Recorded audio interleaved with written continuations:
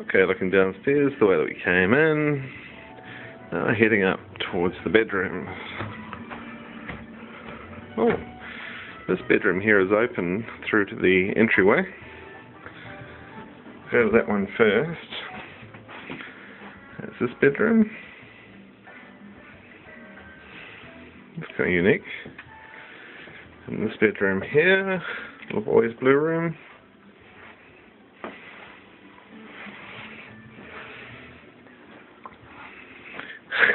and here's another bedroom.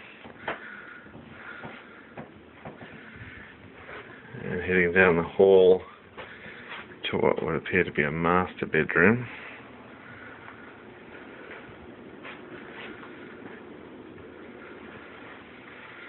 And then